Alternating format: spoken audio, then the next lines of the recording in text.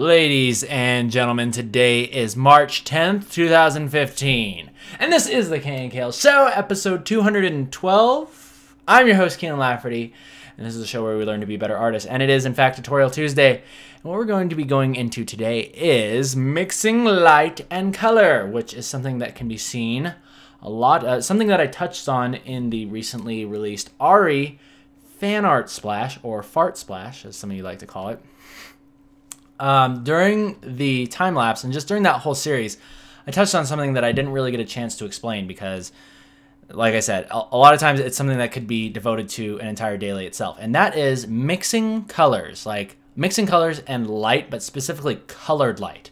For instance, like this blue ball with the red dress. And how do I know how to transition these shadows and what colors to pick? And that's what we're going to be going into today with the help of Emma-san. But before we actually get into that, it's going to be a little bit more of a joint study session, just so you know. A little more of a joint study session. Before we get into that, we have some things we got to look at, and that is your guys' awesome work. Awesome work on the lovely lane, aka the Facebook. Thank you guys so much for joining up and liking the page. Not only liking the page, but submitting your art to the KNKL Facebook. And if you'd like to take a look at all this stuff for yourself, just uh, type in that little tiny URL, or if you're watching this on YouTube, the link is down in the description. All right, ladies and gentlemen, with all that out of the way, let's go ahead and get into what we're going to talk about. So before we jump into Emma, let me go ahead and just kind of let me explain something. Let me let me explain something. Okay, so um, I, I think the best place to explain this is actually going to be in the dress because we have two opposing colors. And the thing that I want you guys to remember today that we're going to be talking about mostly is the principle of two colors coming together, which I'm sure you've learned way long like back in first grade, you learned that blue and yellow make green together, right? Or blue and red make purple. And we're going to be calling upon that and then introducing some slight little adjustments to it that we can keep in our mind when we're trying to figure out what colors to use, okay? So first, let's zoom in on this. Let's zoom in on this and let's take a look at what colors we're exactly working with here. And I'll tell you a little bit about why I chose those colors. As soon as my Photoshop stops lagging, there we go. All right, so, and I'm gonna pull out our handy dandy color picker here. So we're gonna learn about a couple different things today. One is local color, which is something I have taught you many times about, and that is going to be another fancy way of saying the real color. What is the color of this under a white light? And that is, of course, red in this case. Then as you go into your shadows, you'll notice that, and I want you to pay attention to this little slider right here too, because you'll notice that there are going to be things called hue shifts happening. And hue shifts happen, first of all, because I, I just like to have them happen in my pieces. And, but there is a reason for it, and that is because of ambient color, ambient color.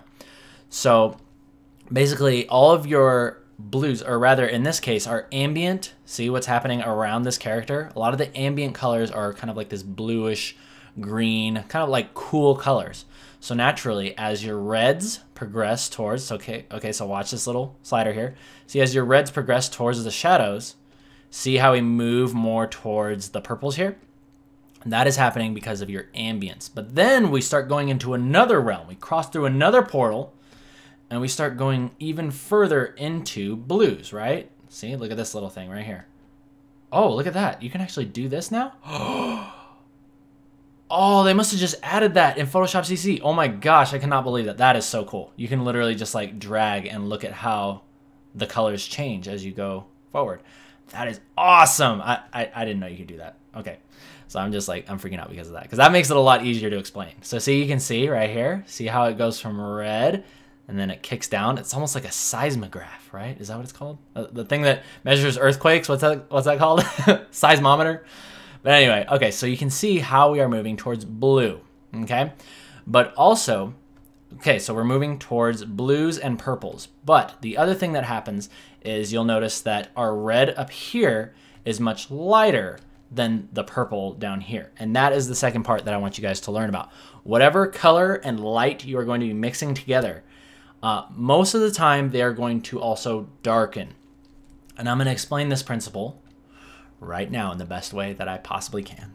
All right, so let's go ahead and pull up a red color. Okay, so we've got red color. Don't worry so much about Emma. We'll get to her in just a second. We'll talk about Emma in just a second. Well, that's what our wrap up will be. Seismograph. Yes, I was right. Okay.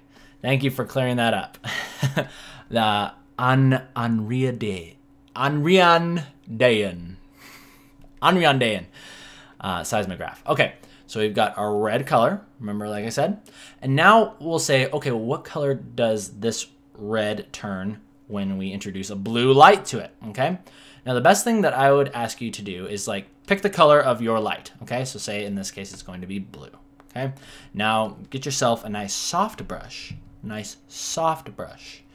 And I want you to just lightly dab it on there, okay? Don't push too hard because then you'll get that, right? You want to lightly dab it on there. And then you'll notice that your colors automatically start to mix. Isn't that interesting? Okay. So now let's take a look at this, right?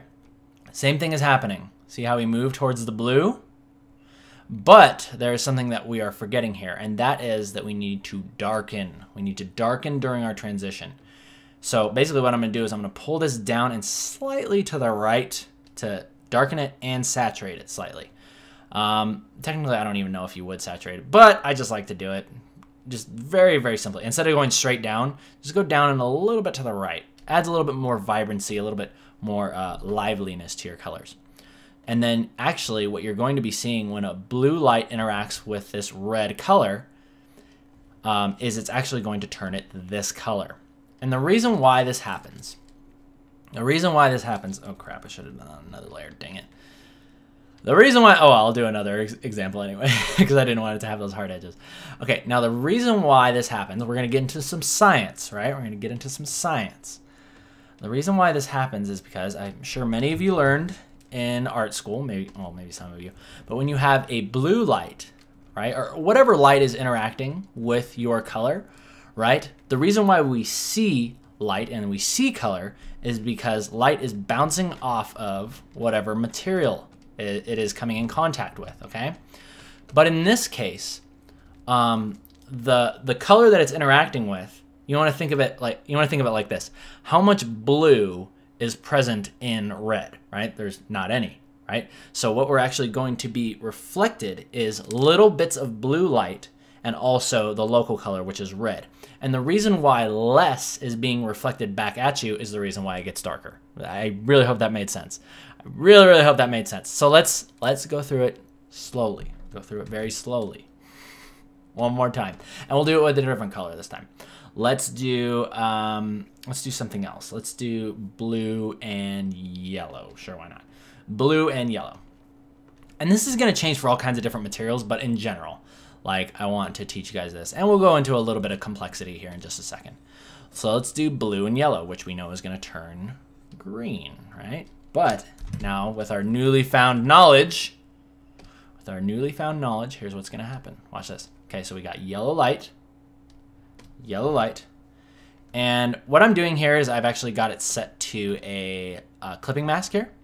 But let's go ahead and put our yellow on. Lightly dab it on, okay? There's our mix right there. See what it's doing? It's turning us more towards green. Check out the seismograph. Boom, moving towards green.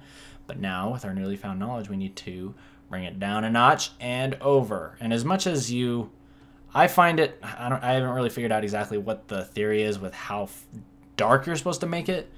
But in general, you want to make it fairly dark. And then this is going to be our new color, right? This is what a blue object would look like underneath a yellow light. All right, now let's get into the complexity. Okay, okay, the complexity. Again, remember, Yellow light hits that blue ball in this case, and it reflects less of that yellow light back at us and mixes with what's there. So we get a darker green. Now, the next thing is is that as depending on the actual material, you can get all kinds of different um, you can get all kinds of different uh, effects. Okay, so say this is a very matte color. Um, as you've learned in school, I'm sure you've done like the little ball rendering thing, right, where you do like the little shine there, right? Well, depending on the glossiness of your um, of your object, you're actually going to get a little bit more of this happening here. So it might, it's going to go closer towards that um, towards whatever light is reflecting on it. And now this has to do with material. This more has to do with material. So if you have something matte, it'll look like that.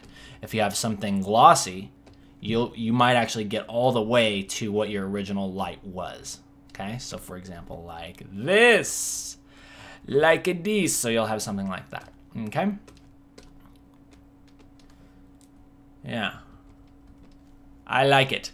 Same thing with this one up here. Let me do that here. So again, matte color, you're gonna have a very subtle transition. A very subtle transition towards here, right? If it's glossy, you're gonna pull it in right towards what that actual color is, right? And it'll have something more like that. All right, ladies and gentlemen, and basically that's how you render out your glossiness of materials. Okay, so let's take all this knowledge that we've learned and let's put it into use by lighting our favorite character, Emma-san, with different lights, different lights. Oh, and I'll show you an easy way to do this too, because you're like, yeah, Kienan, like the science is all great and everything, but is there like like one step that I could do to simplify this all down to like one thing so I can get a general idea of what I'm going for? And my answer to you is yes, of course, because we have the power of Photoshop and we have the power of the lines being in the right group layer. And I'm going to show you how to do that. Okay, so um, as you know, the way that I like to color my characters is obviously with character masks, okay? So this is basically the mask that creates the character and then I just lay everything on top of it. So basically what I've done here is I've just taken this back mask and uh, actually, you could, you don't even have to do it that way. You could actually literally just do it like this. Okay, so everything is clipped to this back mask, and this allows us to not go out of the lines. If I unclip everything, you can see how everything's out of the lines, right? But because I'm smart and I know how to use Photoshop, I just clip it. Oh, and just as a refresher, the way that you clip um, layers back to that original mask is you just hold Alt, and you get that little magical icon, and you click between it, and then it'll just clip everything right back to that. You want to think of it as a stencil. All right, now that I've gotten that out of the way for the 200th time, let's go ahead and talk about lighting. Okay, easy way to do lighting is create a new layer over top of everything, right? And because it's on top of everything, we again need to clip it back. Whoops. Clip it back. And choose your light. Choose your character. Choose your light. Okay? And now what I want you to do is a couple different things. And this is more so where it becomes more of a joint study session, you could say, because there's a couple different things that I think really uh, help with this. Now, one is to take your light color, and I want you to set it to a multiply. And what this is naturally going to do is it's going to darken and um, kind of mute your colors down, okay? So it's going to mute your colors. So this is a really good way to just get started. And again, remember, I'm not pressing very hard. Uh, like, if you press super hard, then it'll kind of just make everything gray which is technically okay, I guess, if like everything is lit by that color. But um, I like to press like fairly lightly, okay? And again, this is up to you. Or you could just press really hard and then just work with the opacity. That's another thing too. So I found that Multiply does a pretty good job of giving this uh, feeling. Uh, soft light also kind of does it. Hard light, whoa. Hard light works good if you kind of drop it down. Maybe something like that. Or no, that's vivid light. Hard light. Hard light gives us something more like more like this.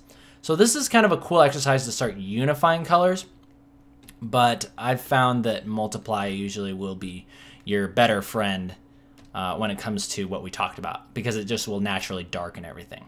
Okay, so now that we've gotten that out of the way, let's talk about again. We want to talk about glossiness. Glossiness. So, for instance, our hair will be much more glossy than our face, okay? So what we're gonna do is we're gonna take that color and we're gonna just uh, create a new layer over top. And let's go ahead and just kind of start adding in glossiness to uh, what we're working with here, okay? And because I'm awesome, because I'm awesome, we're gonna have to do it this way. There's probably an easier way to do this, but whatever. Okay, so we're adding in some glossiness to this hair, okay? Now very, very subtly, we're gonna work with that. Actually, you know what? I think we're going to do this. We're going to do this the other way, okay? So this is the way to get your general idea, but we're going to do this the right way, okay? This is the right way. We're going to work with one layer at a time, and we're going to do this the right way. Okay, So we have blue light.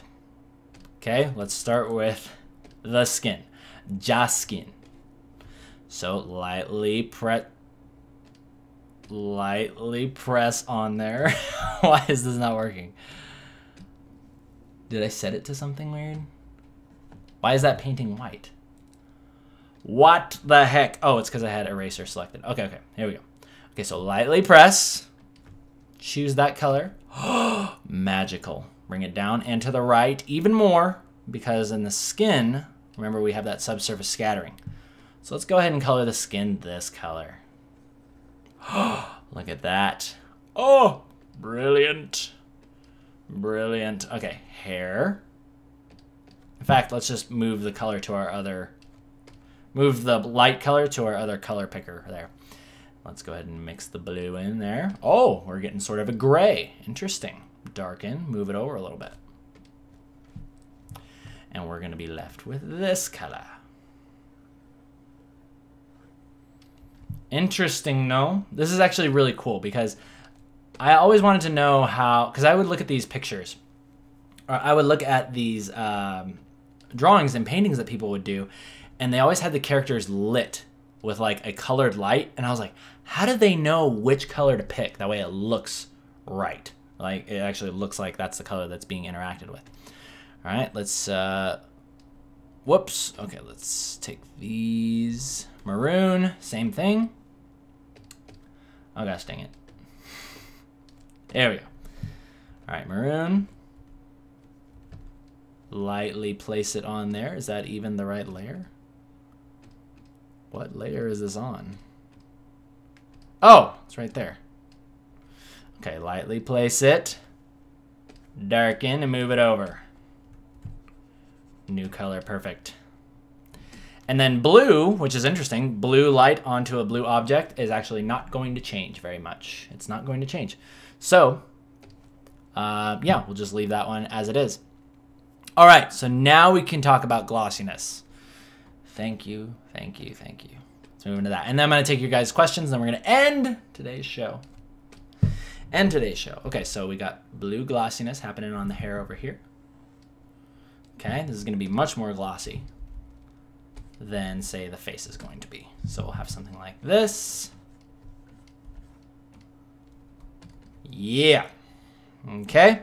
Skin, we're going to have a very, very um, subtle change. Subtle changes here happening in the skin because the skin is very matte. So I'm going to mix a little bit of that in. I'll go ahead and do some of that. Okay. And then also what's really cool to do is you can take this shadow color here and if, say, our light is coming from, I'm playing it with it like the light is coming from the top right, okay? Or the, or the top left, her top right. So light is coming from this way, okay? This is what we're experimenting with. All right, so because the light is coming from there, we can have cast shadows. Cast shadows, which will basically look like this. Basically taking away a little bit more of that light going on there. Okay, I'm gonna put a little bit more of that blue, a little more of that blue into the side of this hair. So I'll have something more like that. Yeah, yeah, I like it. All right, get some more of that blue. Oh, that's nice. I just put the put the freaking color of the light right up there. That, that made it super easy. And uh, oh, also consider this. This is another important thing. Anything that is white, for instance, her eyes are going to be changed the color of that light because you want to think about blue light on a white object is going to reflect all light. White reflects all light. So in this case, it's going to turn her eyes blue. It'll turn her eyes the color of the light. Color of the wind.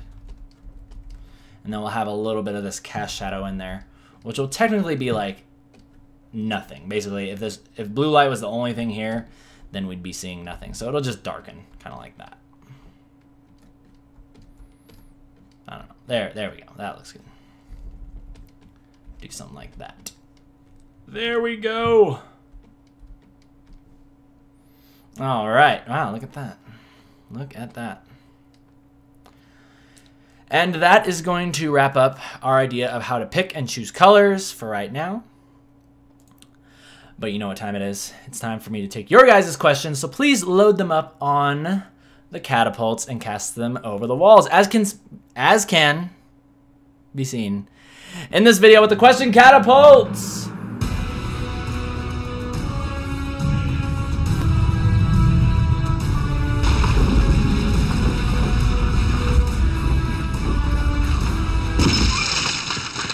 you guys are the funniest comments over here. Aliano. Firmly grasp it. M. Wait. uh, okay, so questions coming in. Any questions you guys have? Um, someone is asking, uh, Too Refined is asking about how I painted the fur on Ahri's tails. Yes, I can go into that. I can go into that. This has been quite a fun thing. Okay, so many of you know that I like to work with I like to work with basically just this brush here, the chalk brush. And the reason why I like it so much, reason why I like it so much is because it has this natural, cool texture to it, okay? But in this case, I decided to try my hand at a different brush, and that was the hairbrush. I don't know if I actually put this one on my custom brushes on DeviantArt. I think I did. I'm pretty sure I did. But it's basically this brush. And there's probably other hair... I mean, you can just go on DeviantArt and download any type of hairbrush. But I started with this. I started with basically the hairbrush. Um, and basically the way that I build up the tails is I'll start with a shape, sort of like this. All right, I'll start with a shape. But then more importantly, I'm considering the the actual shape of the tails and like the design of the fur and it's sort of like this overlapping like almost like a scale mail I, I think of it as like a scale mail type thing because that's the patterns that I paint when I do scale mail. And it's basically overlapping like that. And that's basically how I go about painting tails right there. There you go. And then I did end up going in because you don't want to just use only the hairbrush eh, like by itself because then it kind of looks like a brush. You can kind of like pick it out and it doesn't look as good as though you would, you know, you just actually went in and started painting it again. What the heck is going on with that? What? Oh, the brightness. ah, there we go. Okay, but yeah, I'll actually go back in and I'll kind of sculpt things out.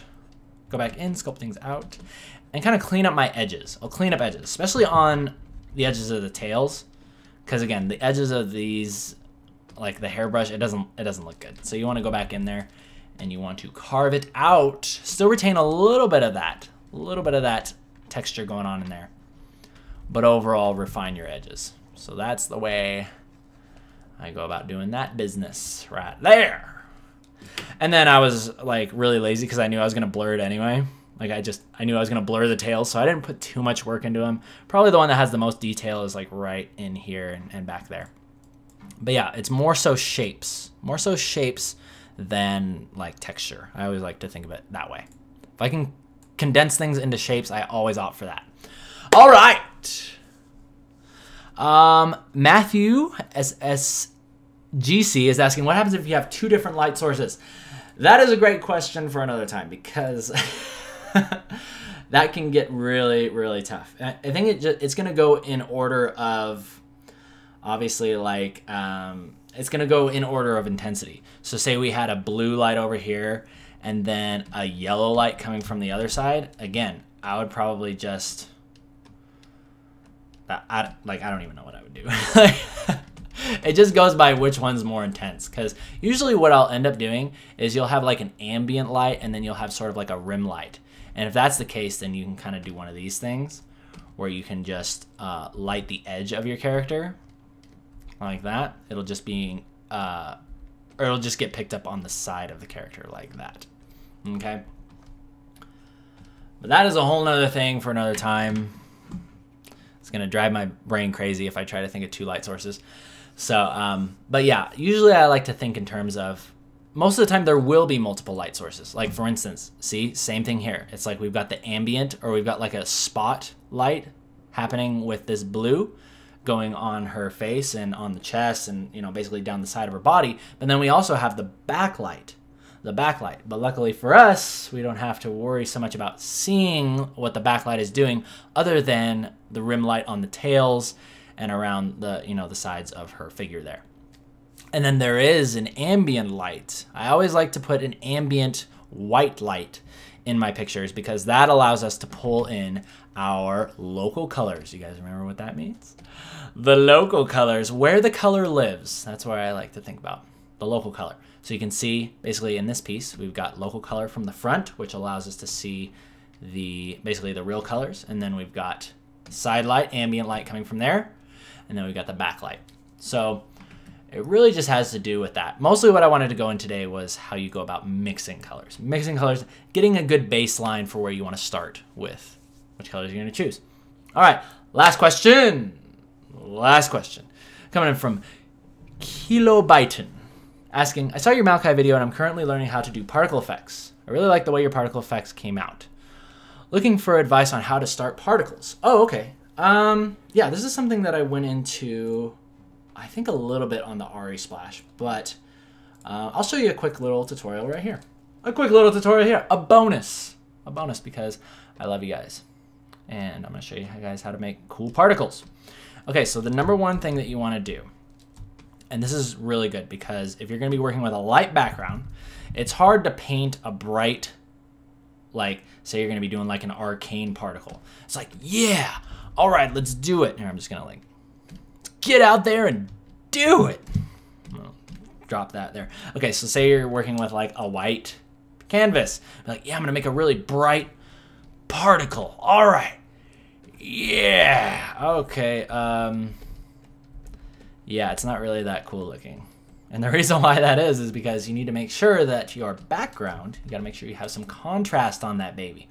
So the first thing that I always like to do with my particles is I think of them in terms of layers. Layers, okay?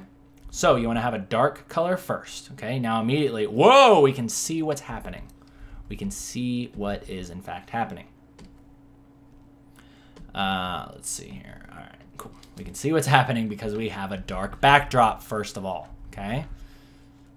Let's go ahead and kind of tone that down a little bit. But then another cool thing to add power to your to your particle, you want to make sure that you're thinking about hue shifts too. Again, look at this. See that blue? Look at how we move from there to there. We go from, and this just has to do with color temperature, which is another thing that I don't know if I went in. I think I did go into color temperature on one thing. But uh, basically, you want to make your particles look really hot. So for blue, you're naturally going to start moving towards your greens and teals and more towards white.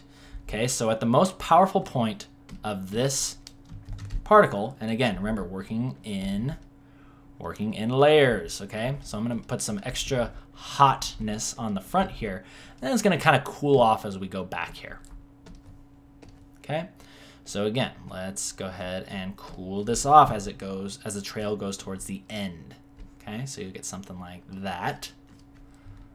Okay, and then what I like to do is I like to do a hard light layer. Now this is something that you can get addicted to, so I want you to be very careful with how you use it. Use it with precision, use it sparingly, okay?